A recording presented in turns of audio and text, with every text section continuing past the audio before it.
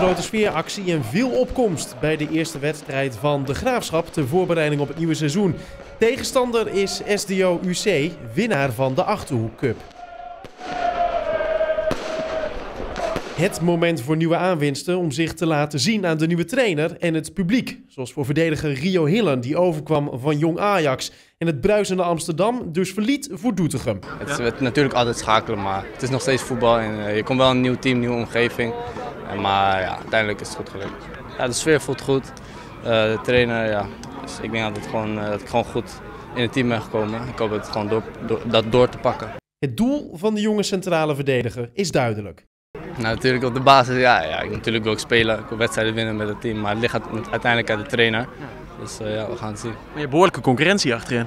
Ja, ja, maar dat is alleen maar goed. Haal je het beste uit jezelf. Uh, ja, het is gewoon strijden om je plekje, maar dat, dat hoort bij voetbal. Hij concurreert om een plekje achterin met een andere nieuwe aanwinst. Jan Nammers, die transfervrij overkwam van Top Os. En tijdens de eerste training opeens in het shirt van de Superboeren stond.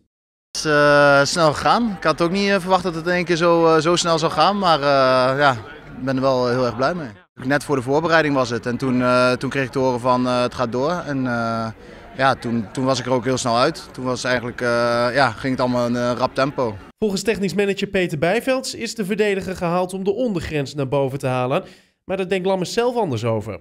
ik, ik ken Peter goed genoeg en die kent mij ook heel goed. En die weet dat ik echt niet erbij kom om, uh, om maar een beetje erbij te lopen en uh, alles wel prima vind. Dus uh, ik ga gewoon, wat ik zeg, heel hard mijn best doen om baasspeler te worden. Ja. En ja, dan, dan, gaan we zien wat ik zeg, de beste speler gewoon. En ik hoop dat ik de beste ben op mijn positie en dat ja, zal blijken. De voorbereiding is nog lang, maar de eerste test doorstond de ploeg prima.